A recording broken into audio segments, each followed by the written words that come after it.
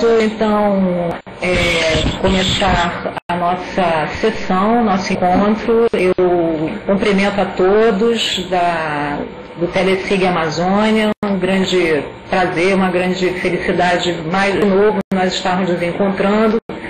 E hoje o tema do nosso encontro vai ser arbovirose na primeira infância. Quem vai apresentar o conteúdo dessa temática é a doutora Elisa Barroso de Aguiar, ela é pediatra aqui do nosso Instituto Nacional é, de Saúde da Mulher, da Criança e do Adolescente Fernandes Figueira e atualmente também fazendo residência em doenças infecciosas no campo da pediatria. É, como costumeiramente nós fazemos, ela vai fazer a apresentação dos conteúdos, depois a gente abre para todos para esclarecimentos de alguma dúvida, alguma situação a mais que se queira fazer. Eu passo a palavra então para a doutora Elias, agora um momento para ela começar a apresentação. Pode passar, Jair, por favor. É, boa tarde a todos. Então, é, meu nome é Elisa, né? Como a doutora Silvia já me apresentou. Eu vou falar hoje sobre as arboviroses. É, vou falar sobre as mais prevalentes no Brasil e principalmente sobre o impacto delas na primeira infância. Né? É um assunto extenso, então eu selecionei os principais tópicos é, que são mais relevantes quando a gente fala de crianças pequenas em relação às arboviroses. Né? começar com uma pequena introdução geral em relação a essas doenças. Elas são causadas pelos arbovírus, né? Esse termo, ele veio da expressão em inglês arthropod-borne viruses, ou seja, são vírus que são transmitidos por artrópodes. Para a gente, os principais são os mosquitos. E essas doenças mais prevalentes no Brasil, as que a gente mais tem contato, são a dengue, a chikungunya, a zika recentemente, a febre amarelo e um pouco menos a febre maiaro. E os principais vetores importantes no Brasil, principalmente em áreas urbanas, são o Aedes aegypti e o Aedes albopictus. Pode passar. Pode passar o slide, por favor. Essas arboviroses, elas geram doenças muito semelhantes entre si. Então, eu vou traçar um panorama geral para não me estender muito depois em cada uma. Em geral, elas causam infecções clínicas ou subclínicas, muitas vezes são assintomáticas, e elas causam três síndromes principais. O mais comum é uma doença febril sistêmica, com aqueles sintomas gerais, dor de cabeça, dor muscular, dor nas articulações e as manchas vermelhas na pele, né, o racha. Em casos menos comuns, elas podem causar uma doença neuroinvasiva, né, com sintomas neurológicos. Isso é mais comum em arboviroses que não são tão típicas no Brasil, são mais comuns na Ásia, são outras arboviroses, mas também acontece nessas que a gente tem aqui. As formas graves, que são as febres hemorrágicas, que acontecem principalmente na dengue e na febre amarela. Pode passar. O diagnóstico das arboviroses como todo pode ser feito de forma direta, ou seja, quando a gente identifica o material genético do vírus, isso normalmente é feito pela técnica de PCR, pode ser feito no sangue, na urina, em tecidos, em várias amostras. E o diagnóstico indireto, que é feito através da detecção de anticorpos, né? É a sorologia. Uma coisa importante quando a gente fala de sorologia de arboviroses é que vários desses vírus pertencem à mesma família. Por exemplo, o vírus da dengue, da zika e da febre amarela são flavivírus. Então, você ter uma sorologia positiva pode significar que é realmente aquela doença, mas pode ser qualquer uma das outras duas também. Então, você pode ter um falso positivo por uma reação cruzada. Então, ter esse cuidado na interpretação da sorologia. Nenhuma dessas doenças tem um tratamento antiviral específico. Na verdade, o tratamento se resume a medidas de suporte e remédios sintomáticos para dor, para alguma coceira que tenha na pele, é, e suporte dependendo da gravidade do caso. Né? Em termos de prevenção, a gente tem medidas muito importantes, principalmente de educação em saúde, né, esclarecer a população sobre a forma de transmissão e principalmente sobre a importância do controle do vetor, seja é, evitando o acúmulo de água parada e questões de proliferação de mosquitos, seja a proteção pessoal. por barreira física, né, com roupa, ou pelo uso de repelentes. A vacinação, especificamente no caso da febre amarela, é, o, a, é a arbovirose que tem essa prevenção de forma mais eficaz. E a vigilância de epizootias, que é a ocorrência em primatas, principalmente para a febre amarela também.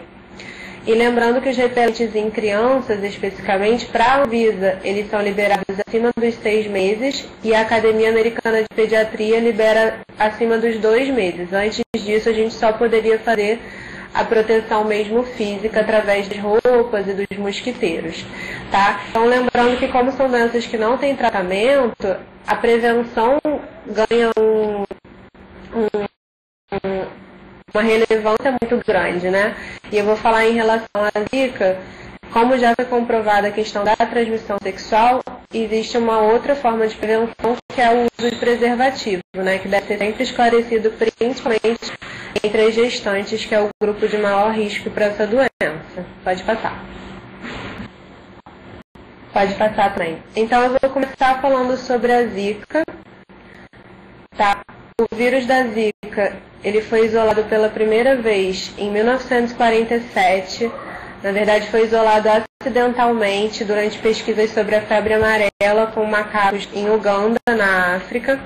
E depois disso, ele foi descrito várias vezes causando doença leve, casos esporádicos em humanos na África. Pode passar. Até que por volta de 2007 começaram a ter as grandes epidemias relatadas nas ilhas do Pacífico. Várias ilhas foram tendo grandes epidemias até 2013. E até em 2015 começa a epidemia no Brasil, principalmente no Nordeste, foi ela, onde ela ganhou maior destaque e daí se terminou para as Américas. Pode passar. Logo depois dessa epidemia, por volta de setembro e outubro de 2015, o que se teve foi um grande aumento no número de casos relatados de microcefalia, principalmente também no Nordeste. Essa região mais acometida inicialmente pela epidemia de Zika. Isso já gerou é, hipóteses de uma associação entre os casos de infecção por Zika e essas malformações dos recém-nascidos.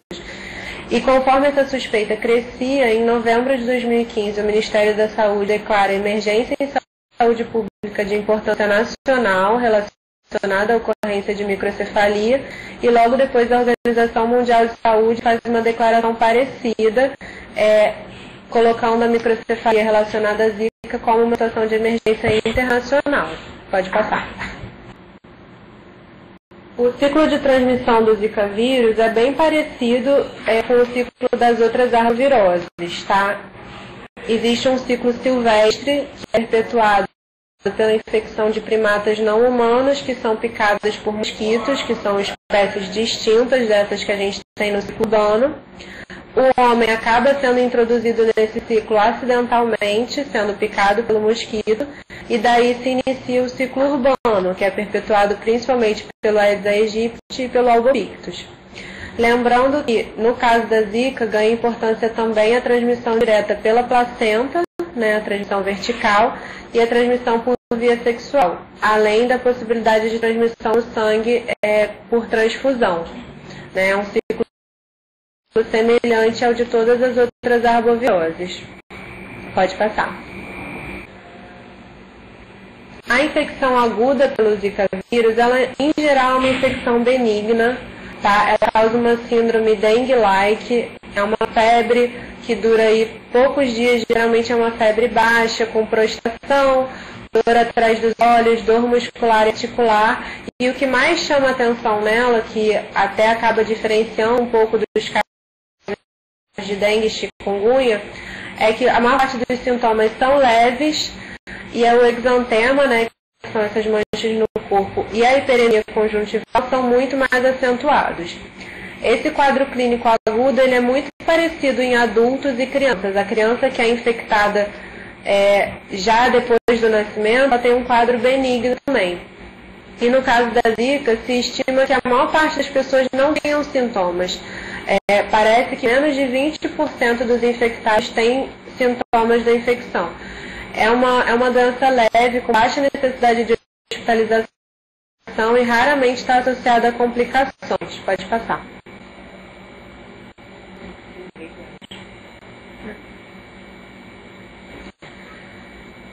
Então, falando especificamente sobre o impacto na infância, né, pela infecção pelo Zika vírus.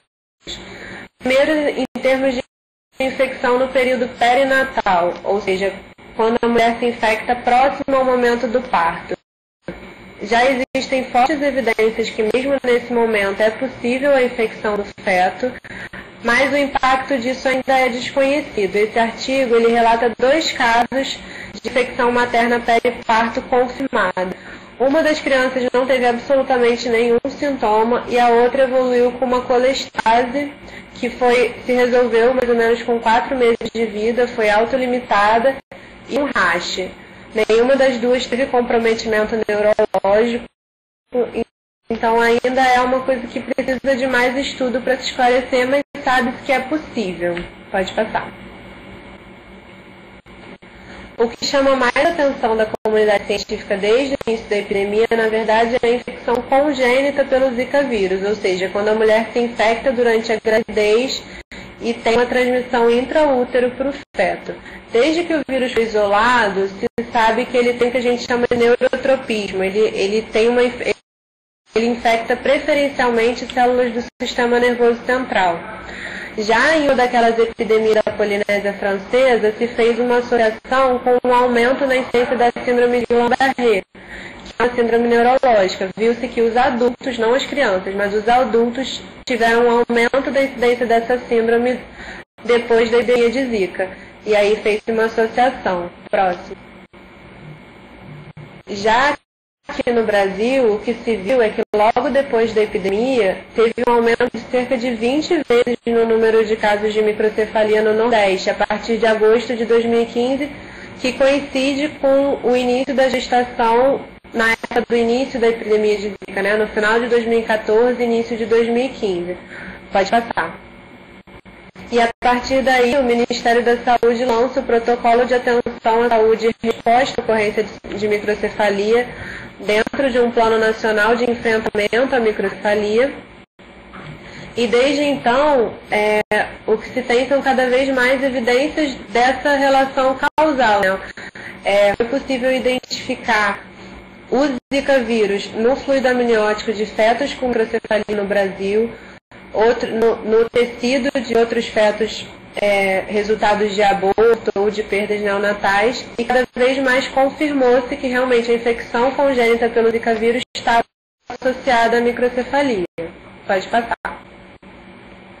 Então, na verdade, esse neurotropismo do vírus ele causa um dano neurológico direto e é isso que vai fazer com que o volume intracraniano seja reduzido.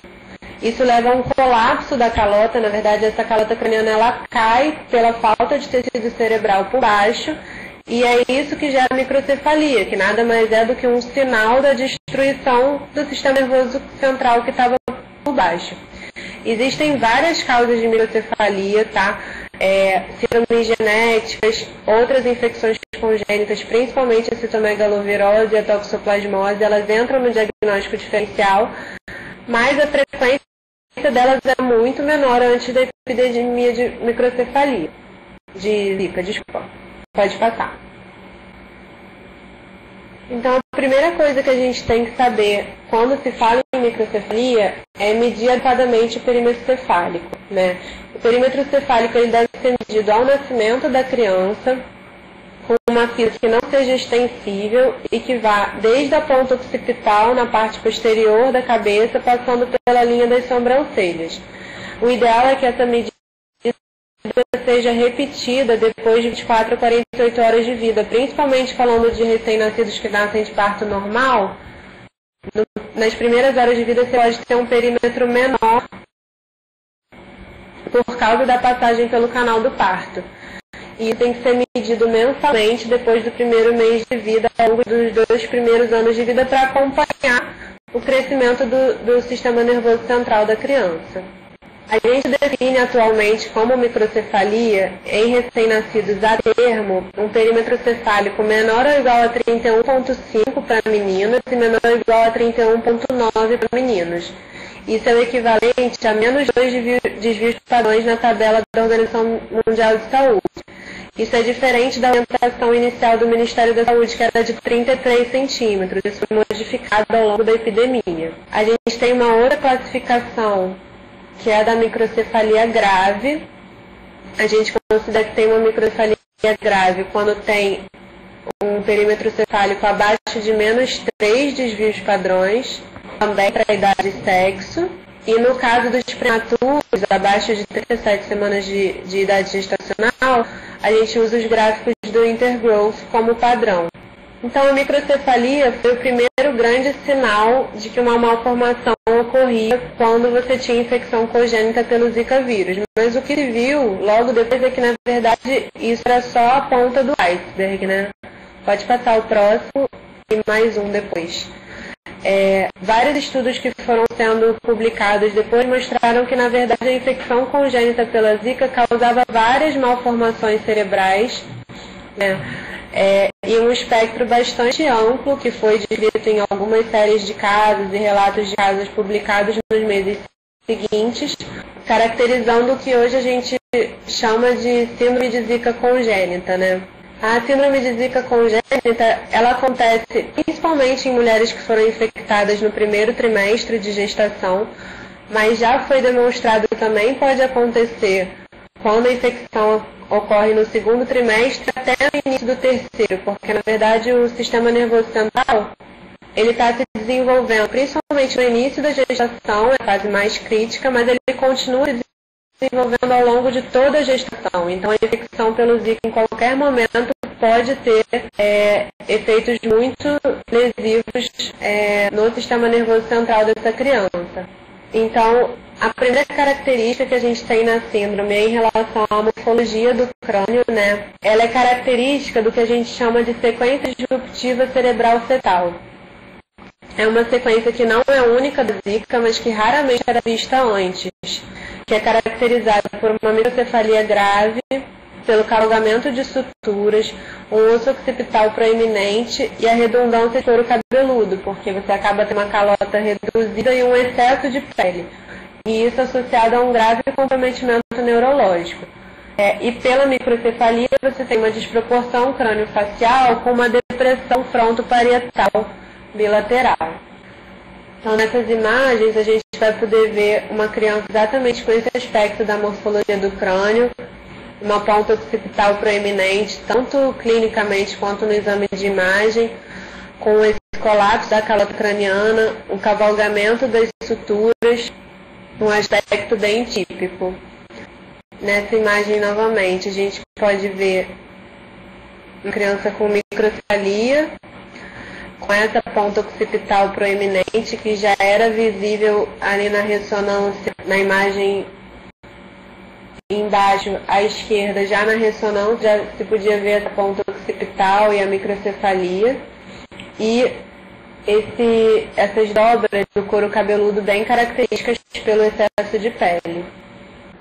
Em termos de achados, é, intracranianos, né, o que a gente tem são principalmente calcificações, enquanto na citomegalovirose as calcificações são tipicamente periventriculares, o que a gente vê na zika são calcificações difusas e principalmente subcorticais, podem estar no, nos núcleos da base, no tálamo, então uma distribuição um pouco diferente.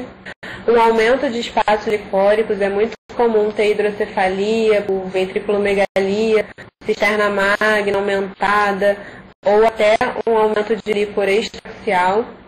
Atrofia cortical importante, com alguns padrões anormais, como polimicrogiria e lisencefalia. Pode ter defeito de corpo caloso, defeito de cerebelo também.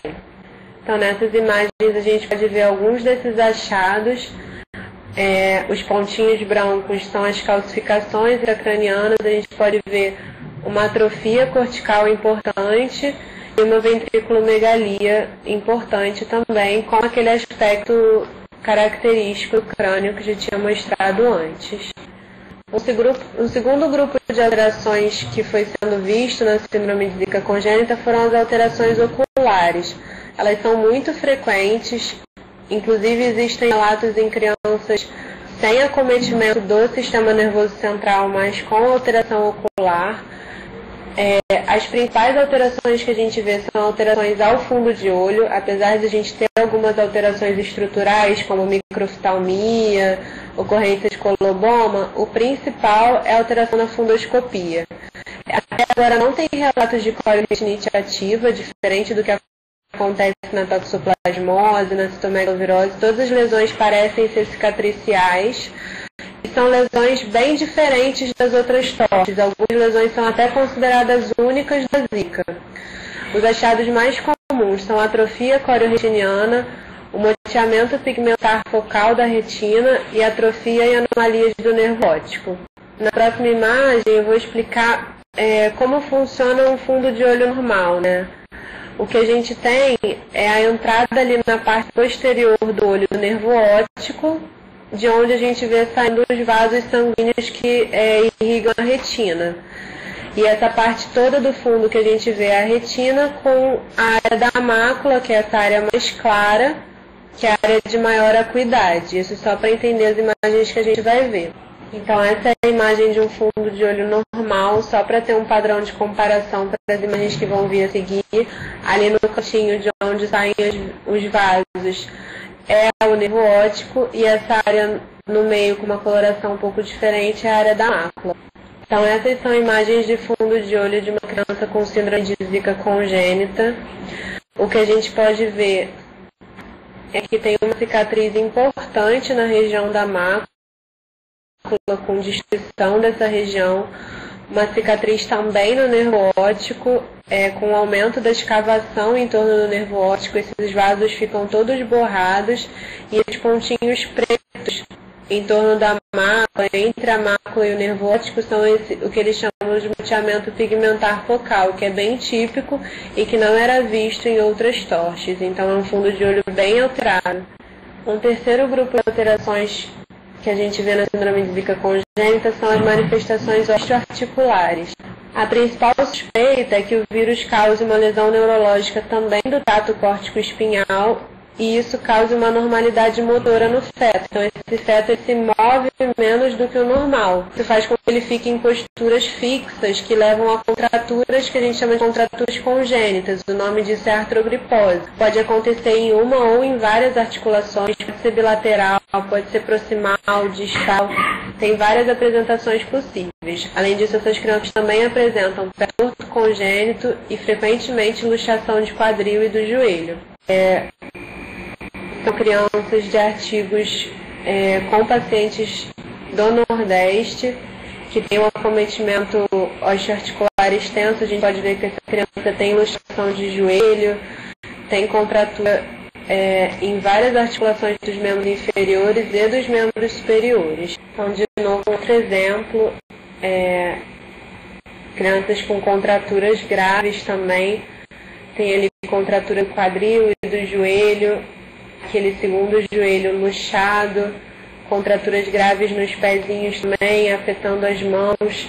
Enfim, nesse caso a gente chama de artrogripose múltipla, né? Quando afeta múltiplas articulações. E uma coisa que é importante a gente saber é para além da microcefalia, né? Inicialmente só se pensava em zika quando o recém-nascido tinha o perímetro cefálico abaixo do esperado. O que a gente sabe atualmente é que mesmo crianças que nasceram com perímetro cefálico normal podem ter infecção congênita pelo Zika vírus. Esse artigo ele descreve 13 latentes que nasceram sem microcefalia, mas que ao longo do acompanhamento mostraram alterações de desenvolvimento, um perímetro cefálico que não crescia adequadamente e tinham alterações compatíveis, não só no exame físico, mas também em exames de imagem, alterações compatíveis com a síndrome de congênita. Então, não se limitar à presença de microcefalia. Mesmo crianças com perímetro cefálico normal ao nascimento podem ter tido infecção congênita e ter sintomatologia por isso e desenvolver um, um perímetro cefálico abaixo do esperado ao longo do acompanhamento. Em relação ao prognóstico dessas crianças, a gente tem ainda poucos dados de longo prazo. Os estudos atuais estão restritos a séries de casos e relatos. A gente só tem estudos observacionais. As crianças nascidas na primeira leva da epidemia elas estão completando agora dois anos, então a gente ainda tem poucos dados sobre mortalidade, mas o que se sabe é que elas evoluem com um comprometimento neurológico grave, com hipertonia, espasticidade, irritabilidade, um choro excessivo, um comprometimento muito grave de desenvolvimento. Muitas delas têm epilepsia, convulsões de difícil controle, têm disfagia, dificuldade para se alimentar e para ganhar peso, e perda visual e auditiva. Em termos de tratamento, é, infelizmente não existe um tratamento específico, né? Vou falar mais para frente. É, o que a gente tem como possibilidade é a estimulação precoce e o acompanhamento multidisciplinar dessas crianças. É, em relação à amamentação, logo no início da epidemia, a Organização Mundial de Saúde emitiu orientações provisórias sobre o aleitamento materno, porque existia uma dúvida muito grande. Se a mãe, a mãe que está amamentando for infectada, ela pode infectar o bebê? Interrompe o aleitamento ou não. Não existe uma contraindicação ao aleitamento interno nesses casos. Na verdade, não, não existe comprovação de que o vírus é transmitido pelo leite. O vírus ele já foi isolado no leite, mas não se comprovou casos de crianças adquirindo a doença dessa forma. E, além disso, já se viu crianças que pegaram a doença nos primeiros meses ou nos primeiros anos de vida não tiveram nenhuma complicação neurológica, elas tiveram um quadro brando, é muito diferente da infecção congênita. Então, pesando os riscos e os benefícios, não existe motivo para contraindicar o aleitamento materno quando a mãe está com Zika. Então, em relação ao tratamento, é o que eu falei, o que a gente tem para oferecer para essas crianças é a estimulação precoce com fisioterapia, que melhora a hipertonia, uma tentativa de melhorar o desenvolvimento dessas crianças e evitar complicações ainda maiores desse comprometimento neurológico. E um acompanhamento multidisciplinar, que inclui pediatra, fisioterapeuta, fono, oftalmo, neuro, serviço social e a realização de exames de imagem auditiva, principalmente oftalmológico, regulares, que a gente sabe que é bem difícil de atingir esse acompanhamento ideal, né? E aí, para terminar a parte de Zika, eu coloquei essa imagem que é do início da epidemia de uma mãe com com um bebezinho acometido pela síndrome de Zika, que inclusive acompanha aqui com a gente.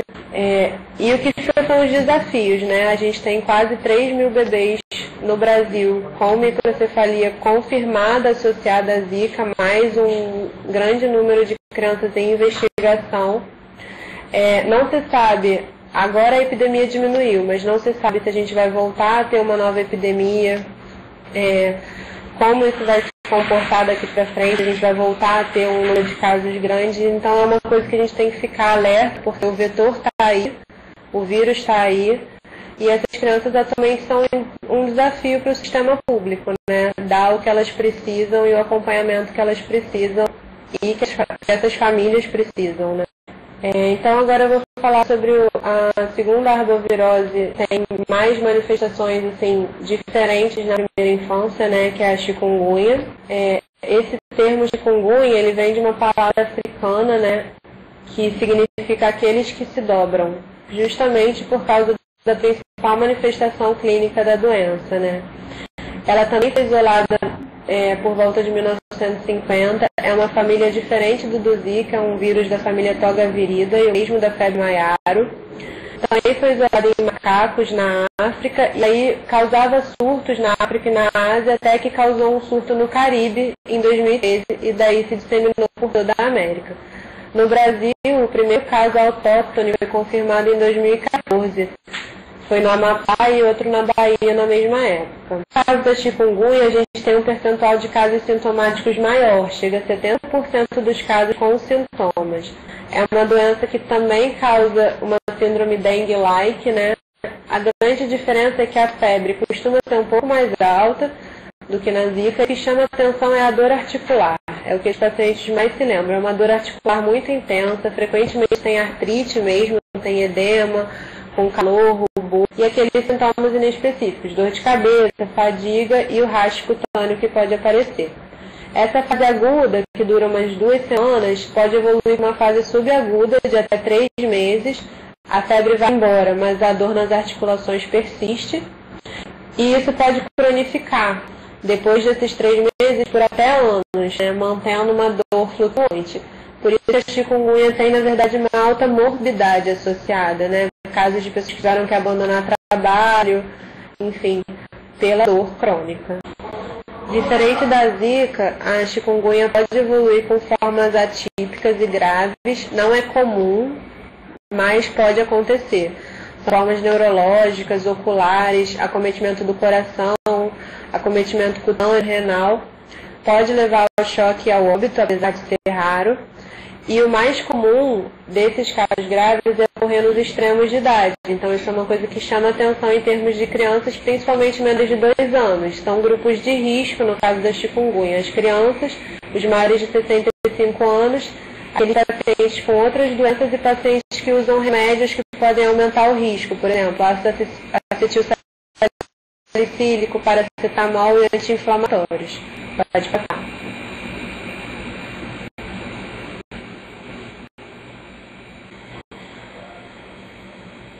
O impacto na infância da chikungunya é, passa por dois aspectos principais. O primeiro é quando a gestante é infectada. Diferente da zika, a chikungunya não parece causar malformações fetais. E são raros os relatos de O grande problema da chikungunya é quando acontece a infecção no período intraparto, quando a mãe está com viremia no momento do parto. Nesses casos, a gente tem uma taxa de transmissão muito alta para o feto, de cerca de 50%, é, e muitos desses fetos vão ter sintomas e vão ter sintomas graves. É, nesses casos, você modificar a via de parto não parece alterar o risco de transmissão e também não tem transmissão pelo aleitamento materno. A infecção no período perinatal, então, ela foi descrita pela primeira vez numa epidemia em La Reunion em 2005. O que se viu é que os recém-nascidos infectados tiveram sintomas na primeira semana de vida, mas não desde o nascimento. Então, isso chama atenção, porque se você tem uma mãe com chikungunya no período periparto, o ideal seria adiar a alta dessa criança, porque pode ser uma criança assintomática no primeiro, segundo dia de vida, que pode desenvolver um quadro grave ainda na primeira semana. Então, se, a, se essa gestante teve a clínica característica, deixar essa criança por mais tempo em observação. Os sintomas mais comuns, pode passar o próximo, são febre, exantema, edema, uma síndrome áurica importante, é uma criança que tem dor à manipulação, que recusa a alimentação e pode apresentar sintomas cutâneos, principalmente de escamação e hiperpigmentação da pele. Além disso, essas crianças podem ter petequias, trombocitopenia, linfopenia. E o que mais chama atenção é que elas desenvolvem um quadro que lembra a sepse neonatal. As formas graves são muito frequentes, podem ter complicações neurológicas, como meningoencefalite, edema cerebral, hipertensão intracraniana, crise convulsiva, complicações hemorrágicas, acometimento miocárdico e falência de múltiplos órgãos. Faltam 25% das crianças indo para ventilação situação mecânica. Então, é um quadro realmente potencialmente muito grave. E o que se viu nesses surtos é que com dois anos de idade, 50% dessas crianças tinham algum tipo de é, comprometimento neurocognitivo. Eu coloquei alguns relatos de casos só para ilustrar. É, esse é um relato de um, um, um caso de uma hiperpigmentação neonatal causada por chikungunya é, de transmissão perinatal e encefalite neonatal por transmissão vertical também, que foi considerado o primeiro relato no Brasil. E o próximo artigo é um relato de dois casos que aconteceram na Bahia, é, que as crianças tiveram um quadro muito grave, muito semelhante à sepsis neonatal. As duas precisaram de terapia intensiva e tiveram um comprometimento importante por infecção congênita pelo chikungunya. Então, saindo do período neonatal, quando a gente fala de infecção pelo chikungunya em crianças, é, é um pouco diferente do que acontece com a zika, né? Na zika, a criança infectada agudamente parece com o adulto. Na chikungunya, existem poucos estudos sobre chikungunya em crianças, mas aqueles que estão disponíveis sugerem que a apresentação clínica é um pouco diferente da dos adultos. O que vê é que a magnitude dos sintomas faz uma curva em U, né? Ela é máxima nos extremos de idade, em lactantes jovens e idosos. Diferente dos adultos, as crianças têm uma taxa de infecção assintomática um pouco maior, de 40%. A febre é parecida com a do adulto, é alta, mas o que chama atenção é que é muito frequente que ocorram convulsões febris e isso pode acontecer além daquele período considerado típico para convulsão febril, né, de seis meses a seis anos. Pode acontecer fora dessa faixa etária, faixa etária e com uma duração maior, de três a cinco dias. É, esse estudo ele foi uma revisão sobre chikungunya em crianças, uma revisão de vários artigos observacionais e ele tentou comparar as manifestações clínicas entre crianças e adultos, fazer uma tabela comparativa. As principais diferenças que eles perceberam foi primeiro em relação às manifestações cutâneas. O rash ocorria nas duas idades, né? Mas as crianças tinham muito mais mudança pigmentar na pele, chegava a 40% das crianças, enquanto em adultos isso é bem raro e manifestações bolhosas, que chegavam a 38 a 48%, principalmente de lactentes pequenos, menores de 6 meses, enquanto que em adultos essa manifestação é extremamente rara. Em crianças, aquela questão de mialgia e artralgia é frequente, mas não é, em adultos chega a quase 100%. Em crianças isso fica em torno de 30 a 50%. As crianças têm também mais manifestações hemorrágicas, não chega a ser muito comum, mas é mais comum do que em adultos, e manifestações neurológicas. Os adultos têm principalmente cefaleia, né, mas complicações neurológicas são raras. Já nas crianças, a ocorrência de encefalopatia, de meningoencefalite de crise convulsiva chega a 30% dos casos. Então, nesse surto em La Reunion, se viu que 25% das crianças tinham sintomas neurológicos. Então, foi uma coisa que chamou muita atenção. Na Índia, eles fizeram um estudo com crianças que tinham suspeitas de infecção do sistema nervoso central. E eles descobriram que 14% dessas crianças tinham infecção pelo chikungunya. É, sendo que Muitas delas apresentavam depois um relato de sintomas prolongados, né, umas sequelas que perpetuaram ao longo dos anos, sendo que 40 a 50% dessas crianças tinham manifestações graves neurológicas, né, eram crianças que entraram em estado de mal, tinham convulsões complexas e encefalite, principalmente em lactentes pequenos, menores de um ano. Esse artigo é uma série de casos é, com crianças que que apresentaram lesões cutâneas muito graves, bolhosas, que também tiveram infecção confirmada pelo chikungunya. Foram crianças que precisaram de internação em terapia intensiva. Pode passar o próximo slide. É, que tinham grandes áreas de superfície corporal acometida, com, precisaram de um tratamento semelhante ao tratamento dado a grandes queimados, né? Então, essas são algumas das crianças descritas nesse artigo. Você vê um acometimento extenso. Elas iniciavam com um rache que se seguia com a formação de bolhas e um descolamento epidérmico importante, que é uma manifestação raríssima em adultos, praticamente não foi vista. Em relação ao tratamento, a chikungunya tem algumas particularidades, né? Parecido com a dengue. A gente deve sempre pesquisar os sinais de gravidade né, o Ministério da Saúde fez um fluxograma semelhante ao da dengue em relação a grupos de risco, a classificação dos casos de chikungunya, é, orientando é, como conduzir cada caso, apesar do tratamento ser só sintomático e suporte, você tem que classificar aquele caso que pode ser acompanhado ambulatorialmente, aquele caso que necessita de internação, principalmente conhecer os grupos de risco, que são os gestantes, as pessoas com comorbidades e esses extremos etários. E nesses casos, o Ministério da Saúde recomenda que você acompanhe esses pacientes diariamente até que a febre desapareça, para poder ficar pesquisando todos os dias o surgimento de sinais de gravidade. E lembrar da dificuldade que é avaliar a dor no paciente pediátrico, né? 50% pelo menos dessas crianças parecem ter dor muscular, dor articular, só que um lactente pequeno não vai falar e não vai localizar a dor. Então, valorizar a queixa dos pais, lembrar de uma criança que não quer andar, uma criança que está irritada, chorosa, isso pode ser por dor, né? Que é muito mais difícil de avaliar que no adulto. Em relação à febre amarela, é, eu vou falar principalmente sobre a vacina, tá? que é o aspecto mais importante em termos da infância. Vou falar rapidamente sobre a doença em si. É um vírus da mesma família do vírus da Zika, cujos primeiros registros no Brasil vão em 1685. No início de 1900 tiveram várias campanhas, inclusive a famosa campanha de Valdo Cruz no Rio de Janeiro, tentando erradicar a, vacina a febre amarela, até que em 1937 é introduzida a vacina.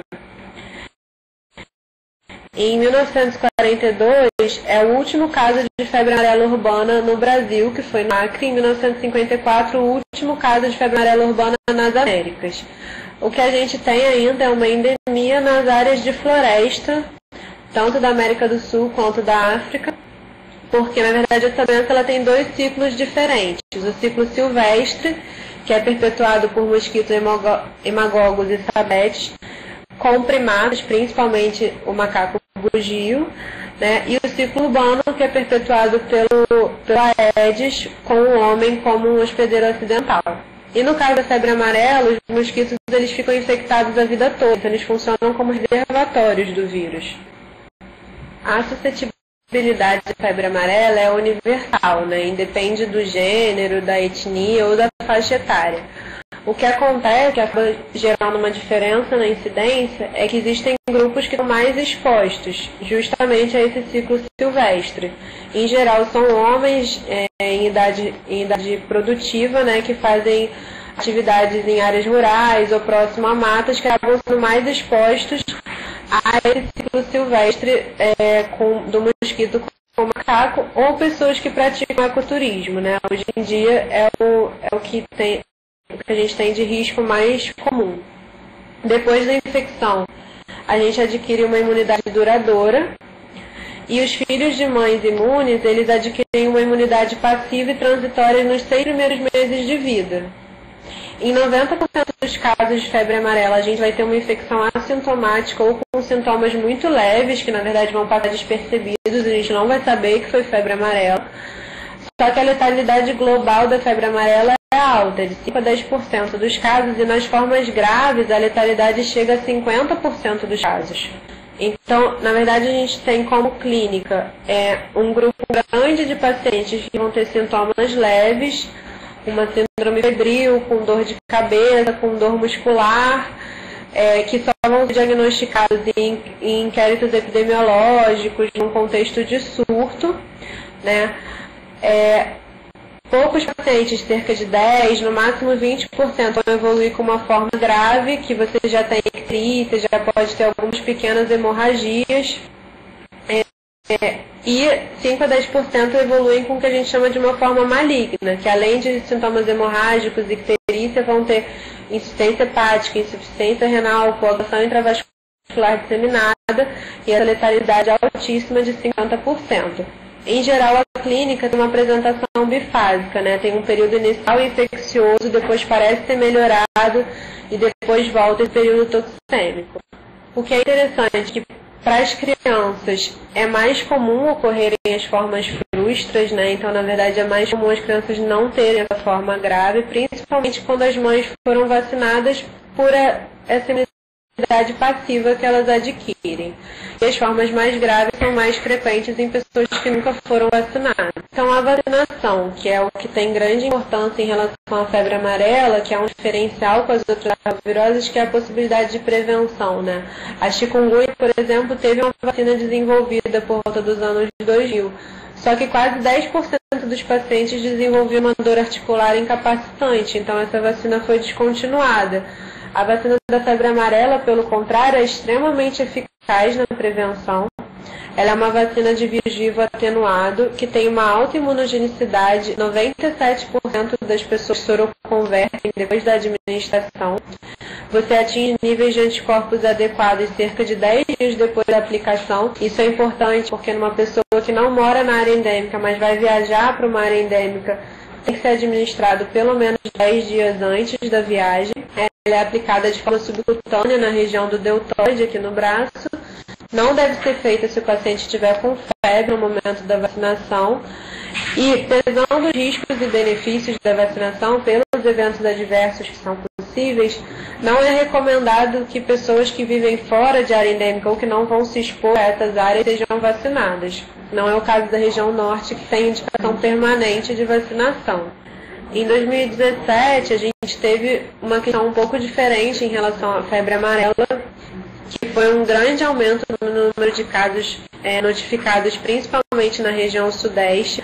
Não teve confirmação de casos de transmissão urbana, mas foi, foi vista uma mudança no perfil é, desses casos silvestres, um aumento muito grande em áreas é, que não costumavam ter tantos casos, né?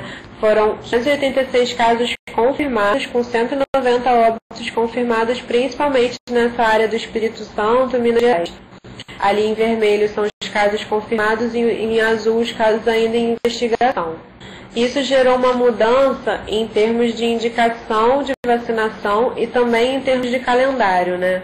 É, existia uma área já recomendada na grande parte do Brasil, que é recomendada a vacinação de rotina, que é considerada área endêmica, que excluía principalmente as áreas do litoral, né, do, do Nordeste, Sudeste e Sul, que vai mostrar no, no próximo mapa. Depois desse, desse aumento no número de casos na região Sudeste, principalmente, aumentou essa área geográfica que tem indicação de vacinação.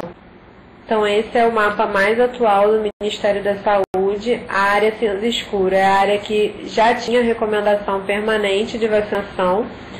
A área cinza clara é a área que não tem recomendação de vacina. E essa área em azul é a que ganhou uma recomendação temporária de vacinação depois desse surto de febre amarela. Pode passar o próximo, por favor. E o que mudou também é, depois desse aumento do número de casos foi o esquema de administração da vacina. O Ministério da Saúde recomendava antigamente é, doses de reforço, né? Cada 10 anos fazia a primeira dose, depois fazia pelo menos uma segunda 10 anos depois. É, e atualmente ele segue a recomendação que é mundial, que é a recomendação de outros países e da Organização Mundial de Saúde, que é uma dose única na vida inteira. Então, a vacina é considerada segura e eficaz para crianças a partir dos 9 meses de idade, sendo que em situações de surto você pode considerar a administração a partir dos 6 meses, ela só tem contraindicação absoluta abaixo dos 6 meses de idade. É uma vacina que não deve ser administrada junto com a tríplice nem com a tetraviral. Tem que se dar um intervalo de pelo menos 30 dias em situação de surto, você pode considerar um intervalo de 15 dias, porque você pode reduzir a produção de anticorpos contra a febre amarela quando você administra simultaneamente. Lembrando então que a recomendação atual é de uma dose única para pessoas que moram em áreas endêmicas ou vão viajar para áreas endêmicas. Em relação aos eventos adversos, a gente tem aqueles eventos locais e gerais que ocorrem em qualquer vacina, né, que não não contraindicam uma revacinação. É, a gente pode ter ocorrência de hipersensibilidade com urticária, broncoespasmo, não é comum, mas pode acontecer. É uma vacina que contém ovo, então é, traços de proteína do ovo, né? Então, é, crianças alérgicas, você tem que pesar o risco-benefício dessa vacinação e fazer no, em um contexto mais controlado, em geral hospitalar. É, e os dois principais eventos adversos que tem que se lembrar no caso da vacina da febre amarela é a ocorrência de encefalite, né, com sintomas neurológicos, dor, meningismo, crise convulsiva, que pode ocorrer até três semanas depois da vacina. É raro, mas é um evento adverso muito importante que tem que ser notificado e contraindica a revacinação. E o segundo evento importante é a doença viscerotópica aguda, que na verdade é uma síndrome ictérico hemorrágica parecida com a febre amarela na sua forma grave. Acontece pelo vírus vacinal. Também é muito raro, mas é um, uma, um evento adverso grave que tem que ser notificado.